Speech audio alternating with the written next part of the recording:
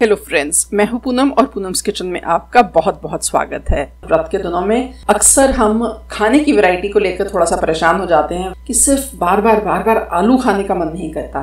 आज मैं आपके साथ एक बिल्कुल नई रेसिपी शेयर कर रही हूँ। एक्चुअली एक नहीं, दो नई रेसिपीज़ शेयर कर रही हूँ, जिसमें हम आलू का बिल्कुल इस्तेमाल नहीं करेंगे। हेल्दी रेसिपीज़ हैं, लौकी से बनेंगी।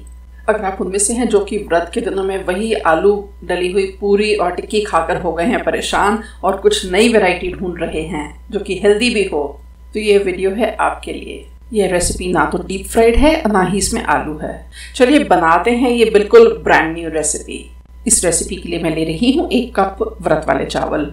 इसे समा के चावल भी बोलते हैं, सावक राइस भी बोलते हैं, बुरैया भी बोला जाता है। बहुत ही छोटा छोटा दाना होता है इसका। इसे मैं अच्छी तरह से दो तीन पानी धो लूँगी ताकि बिल्कुल साफ़ हो जाए और उसके बाद खुले पानी में भिगो कर रख दूँगी दो घंटे के लिए, डेढ़ से दो घंटे के लिए। अब देखिए, ये चावल भीग लिया है और आम नॉर्मल बासमती चावल की तरह ये फूलता नहीं है कोई ख़ास। अभी भी दाना इसका काफ़ी छोटा छोटा ही है, लेकिन इतने में ये सॉफ्ट हो जाता है। इन चावलों को छान लूँगी। कोशिश रहेगी कि एक्स्ट्रा जितना पानी निकाल सकती हूँ, निकाल लो। छान कर हमने इसका गाढ़ा पेस्ट बनाना है। तो अभी जितना पानी इसके साथ कम से कम जाए, उतना बेटर है। पीसते टाइम जैसे ज़रूरत होगी, मैं इसमें पानी ऐड कर लूँगी। हमारा नाश्ता बने बढ़िया सा स्वाद फ्लेवरफुल उसके लिए मैं इसमें डालने लगी हूँ तीन से चार बड़े चम्मच कटा हुआ हरा धनिया, दो हरी मिर्च, जिसे मैंने छोटा छोटा काट लिया है। और साथ में मैं लेने लगी हूँ लौकी, जो कि एक मेन इंग्रेडिएंट है इस रेसिपी का। 300 ग्राम लौकी है। बड़ी लौकी में से छोटा पीस लिया है। इसे छीट कर कद्दूकस कर लूँगी। लौकी काटे तो इस चीज़ का ध्यान रखिएगा। लौकी के सेंटर में जो हिस्सा होता है, वह अगर तो हो पिलपिला और इसके जो बीज हों, अगर वे पके हुए हों तो फिर आप वह हिस्सा निकाल दीजिएगा उसे कद्दूकस मत करिएगा। लेकिन अब ये जो मेरी लौकी है, इसमें यह पोर्शन सॉफ्ट है, बिल्कुल भी पिलपिला नहीं है और जो बीज हैं, वह भी बहुत ही कच्चे हैं। मैं इस हिस्से को भी साथ ही कद्दूकस कर लूँगी। यहाँ मैंने व्रत के चावल का पेस्ट बना लिया है। ये देखिए गाढ़ा गाढ़ा पेस्ट बना है। सिर्फ़ दो बड़े चम्मच पानी डाला है इसे बनाने में।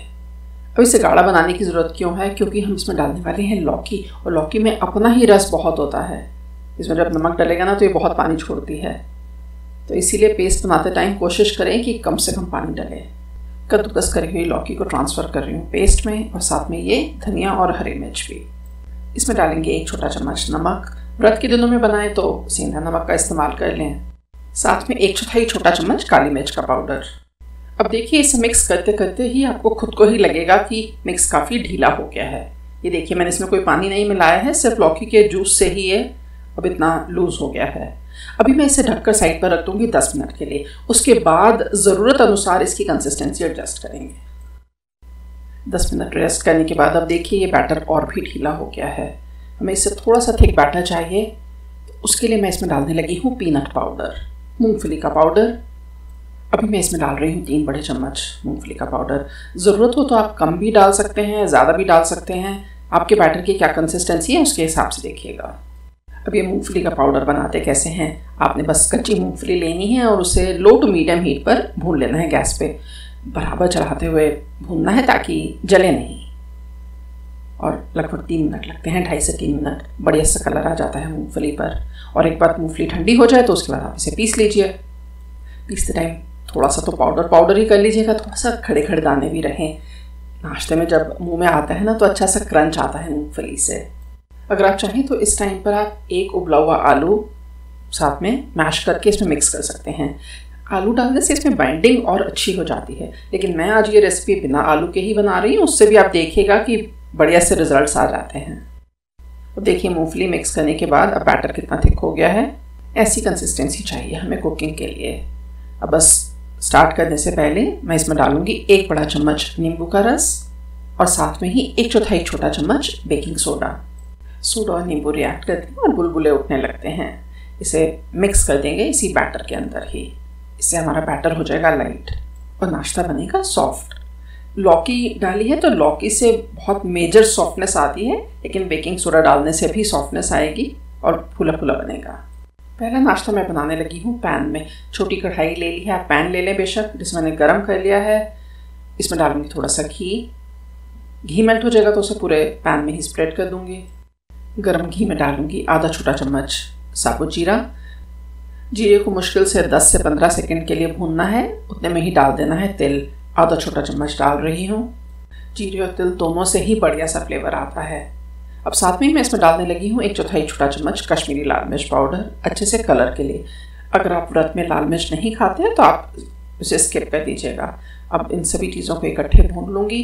बहुत ज़्यादा नहीं भूनना है, बस कुछ सेकेंड्स के लिए ही भूनना है, क्योंकि अब ये बाद में भी कुक होने वाला है।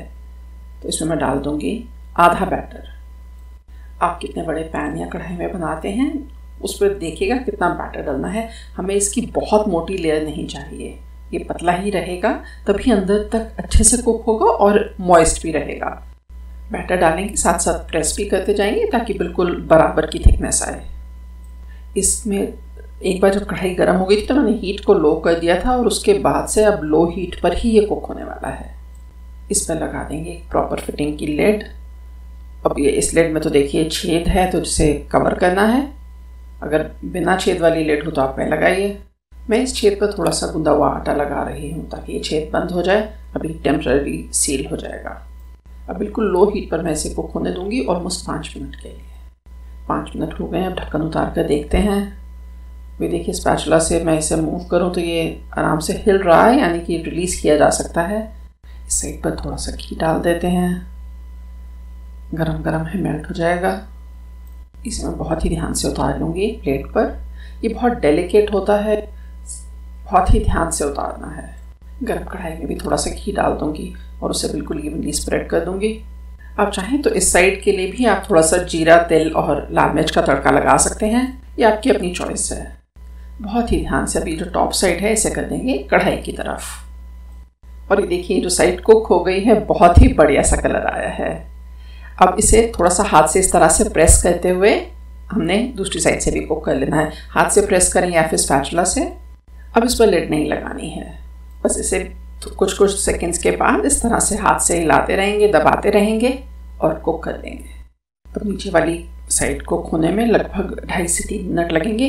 हीट को आपने बराबर लो पर ही रखना है। इस नाश्ते का बेस्ट टेस्ट आता है गर्मा गर्म इसे आप सर्व करें या तो व्रत वाली चटनी के साथ या फिर दही रायते के साथ। तीन मिनट में दूसरी साइड भी कुक हो गई है। इसे मैं ट्रांसफ़र कर लूँगी प्लेट पर। ये देखने में जितना सुंदर लग रहा है ना, खाने में उतना ही ये टेस्टी भी है। फ्लेवरफुल है, व्रत के लिए बहुत बढ़िया है और रूटीन की टिक्की पूरी से बहुत अलग। व्रत का दूसरा नाश्ता बनाने के लिए मैंने अपने पैन चढ़ा दिया है गैस पर। इसको गर्म कर लूँगी मैं लो टू मीडियम के बीच में। एक बार पैन थोड़ा सा गर्म हो जाएगा तो मैं इसकी हर कैविटी में थोड़ा थोड़ा सा तेल डाल दूँगी, दो से तीन बूंद हर कैविटी में। और फिर इस तरह से पैन को घुमाते हुए तेल को हर कैविटी में इवनली स्प्रेड कर दूँगी।